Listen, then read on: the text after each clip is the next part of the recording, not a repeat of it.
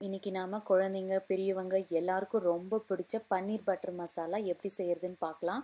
அதோட இன்க்ரீடியன்ட் சொல்லிடுறேன். ஒரு வெங்காயத்தை வந்து கட் பண்ணி வச்சுருக்கேன். கொஞ்சம் பொடியாக ஒரு டீசன்ட் சைஸில் கட் பண்ணி வச்சுருக்கேன். அதுக்கப்புறம் ஒரு பன்னெண்டு பல் முந்திரி எடுத்து வச்சுருக்கேன். அப்புறம் மூணு டொமேட்டோஸ் வந்து எடுத்து கட் பண்ணி வச்சுருக்கேன். அதுக்கப்புறம் ஜிஞ்சர் கார்லிக் பேஸ்ட் ஒரு டூ டேபிள் ஸ்பூன் எடுத்து வச்சுருக்கேன். அதுக்கப்புறம் சில்லி பவுடர் வந்து ஒரு ரெண்டு டேபிள் ஸ்பூன் ஒரு டேபிள் ஸ்பூன் உப்பு டர்மரிக் பவுடர் அப்புறம் தேவையான அளவுக்கு பட்டர் எடுத்து வச்சுருக்கேன். வாங்க இதை நம்ம வந்து போடலாம். ஃபஸ்ட்டு நம்ம வந்து பட்டர் ஆட் பண்ணிடுறோம். இப்போ நம்ம ஒரு பேஸ்ட்டாக தயார் பண்ண போகிறோம் அந்த பேஸ்ட் அதுக்கப்புறமா வந்து தாளிக்க போகிறோம் ஸோ இப்போ கொஞ்சம் பட்டர் போட்டுக்கிறோம். தாளிக்கும் போது கொஞ்சம் பட்டர் போட்டுப்போம்.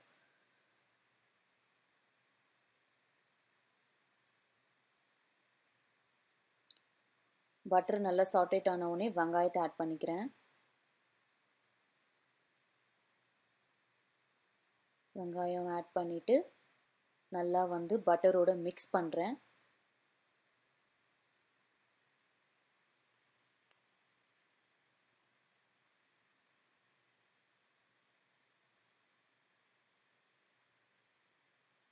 வெங்காயம் நல்லா வதங்கிருச்சு பாருங்கள்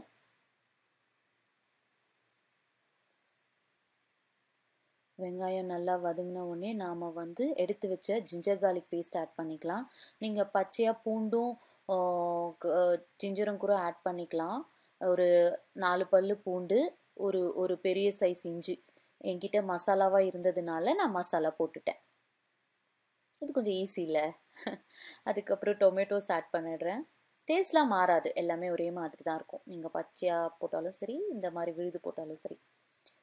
டொமேட்டோஸ் ஆட் பண்ணிவிட்டு அதுக்கப்புறம் நான் எடுத்து வச்ச மிளகாத்தூள் உப்பு மஞ்சாத்தூள் எல்லாத்தையுமே ஆட் பண்ணிவிட்டு நல்லா மிக்ஸ் பண்ணுறேன் இந்த டிஷ்ஷு ஞாபகம் வச்சுக்கோங்க காரம் கம்மியாக தான் இருக்கும். ஸோ நம்ம ஒரு ஒல் ஒன் டேபிள் ஸ்பூன் தான் ஆட் பண்ணுறோம் அப்புறம் முந்திரியும் எடுத்து வச்சு ஆட் பண்ணிடுறேன். ஆட் பண்ணிவிட்டு நல்லா மிக்ஸ் பண்ணுறேன்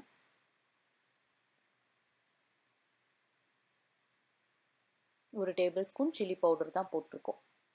அவ்வளோதான் இதுக்கப்புறம் நம்ம ஆட் பண்ண மாட்டோம் சில்லி பவுடர் கொஞ்ச நேரம் ஒரு ஃபைவ் டு டென் மினிட்ஸ் வந்து மூடி வச்சிடலாம். நல்லா வந்து டொமேட்டோஸ் எல்லாமே குக் ஆகட்டும். பார்த்தீங்கன்னா குக் ஆகிடுச்சு இது நம்ம வந்து ஸ்டவ்வை ஆஃப் பண்ணி இப்போ நம்ம என்ன பண்ணலான்னா எடுத்து வச்சிடலாம். இது ஆறினவுடனே ஒரு விழுதாக அரைச்சிக்க போகிறோம் ஆறிட்ட உடனே தான் அரைக்கணும். சூடாக அரைச்சிடாதீங்க. இதோ நான் ஒரு மிக்சி கப் ட்ரான்ஸ்ஃபர் பண்ணி அரைச்சி எடுத்துட்டேன்.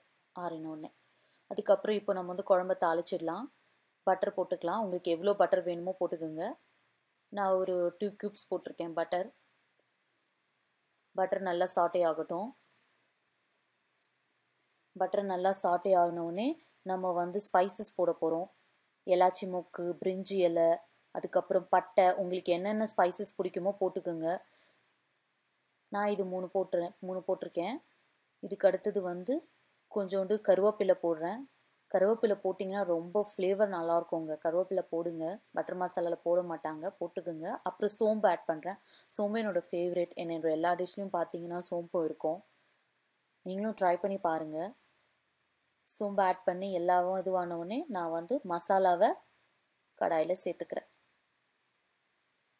மசாலா ஆட் பண்ணிவிட்டு நல்லா மிக்ஸ் பண்ணுங்கள் பட்டரோடு சேர்ந்து நல்லா மிக்ஸ் ஆகணும் மசாலா மிக்ஸ் ஆன உடனே நம்ம என்ன பண்ணலான்னா கலரி விட்டுட்டு ஒரு ஃபைவ் மினிட்ஸ் வந்து மூடி வச்சிடலாம்.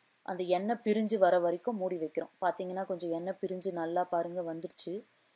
ஸோ இதுக்கப்புறம் நம்ம என்ன பண்ணலான்னா கொஞ்சம் வந்து உப்பு ஆட் பண்ணிக்கலாம். அப்போ ஒரு டேபிள் ஸ்பூன் ஆட் பண்ணோம். இப்போ ஒரு ஆஃப் டேபிள் ஸ்பூன் ஆட் பண்ணிக்கிட்டேன். அதுக்கப்புறம் கொஞ்சோண்டு கரம் மசாலா. அவ்வளோதான் இதுக்கு நம்ம ஸ்பைசஸ் வேறு எதுவும் சேர்க்க போகிறது கிடையாது.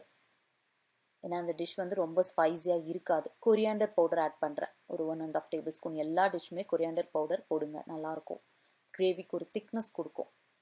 கொரியாண்டர் பவுடர் போட்டுட்டு நல்லா மிக்ஸ் பண்ணிக்கிறேன். மிக்ஸ் பண்ணிட்ட உடனே நம்ம வந்து ஒரு ஆஃப் டேபிள் ஆஃப் டம்ளர் நான் வந்து டம்ளர் எடுத்திருக்கேன். டம்ளரில் தண்ணி ஆட் பண்ணிடுறேன். உங்களுக்கு கிரேவி எவ்வளோ தண்ணியாக வேணுமோ நீங்கள் அவ்வளோ தண்ணி ஆட் பண்ணிக்கோங்க. நான் ரொம்ப தண்ணியாக எடுக்க போகிறதில்ல ஸோ அதனால் ஒரு ஆஃப் கப் ஆட் பண்ணேன். இதுக்கப்புறம் தண்ணி ஆட் பண்ண உடனே நம்ம என்ன பண்ணலான்னா ஒரு ஒன்ஸ் டூ மினிட்ஸ் கழித்து பன்னீர் ஆட் பண்ணிடலாம். பன்னீர் ஆட் பண்ணிவிட்டு நல்லா மிக்ஸ் பண்ணிவிட்டு பட்டர் வந்து இப்போ போடலாங்க. ஒரு அது பட்டர் அது அது கம்ப்ளீட்லி ஆப்ஷனல் போட்டிங்கன்னா அந்த பன்னீரோடு சேர்ந்து அந்த கிரேவியில் அந்த பட்டர் குக்கம் ரொம்ப எம்மியாக இருக்கும். பட் டயட்டில் இருக்கிறவங்க போட மாட்டீங்க. நான் இன்னைக்கு போட்டிருக்கேன். போட்டுட்டிங்கன்னா ஒரு டென் மினிட்ஸ் ஆயிடுச்சு பாருங்கள் பன்னீரும் கிரேவியும் சேர்ந்து குக் ஆயிடுச்சு. இன்னொரு ஃபைவ் மினிட்ஸ் விடலாம். விட்டுட்டு நான் கடைசியாக கஸ்தூரி மெட்டி ஆட் பண்ணுறேன் டிஷ்ஷு க குக் ஆகிறதுக்கு ஒரு ஃபிஃப்டீன் மினிட்ஸ் தாங்க. ரொம்ப ஈஸியான ரெசிபி நீங்கள் ஒரு ஆஃப் அன் ஹவரில் இந்த டிஷ்ஷை பண்ணிடலாம். ஃபிஃப்டீன் மினிட்ஸ் தான் ஆச்சு எனக்கு இந்த பேன் வச்சு குக் பண்ணுறதுக்கு அப்புறம் கொஞ்சம் கொரியாண்டர் போட்டுக்கிறேன். கஸ்தூரி மெட்டி கொரியாண்டர் ரெண்டுமே சேர்த்துக்கிட்டேன். அவ்வளோதான் இதை நான் இப்போ வந்து ஒரு கப்புக்கு ட்ரான்ஸ்ஃபர் பண்ணிடுறேன். ரொம்ப யம்மியாக இருக்கும் இந்த ரெசிபியை நீங்கள் ட்ரை பண்ணுங்கள் இந்த வீடியோ உங்களுக்கு பிடிச்சிருந்தா லைக் பண்ணுங்கள் உங்கள் ஃப்ரெண்ட்ஸ்க்கு ஷேர் பண்ணுங்கள் சேனலுக்கு சப்ஸ்கிரைப் பண்ணுங்கள் தேங்க்யூ இதை என் ஃபேமிலியோடு சேர்ந்து என்ஜாய் பண்ண போகிறேன் நீங்களும் உங்கள் ஃபேமிலியோடு செஞ்சு இதை என்ஜாய் பண்ணுங்கள்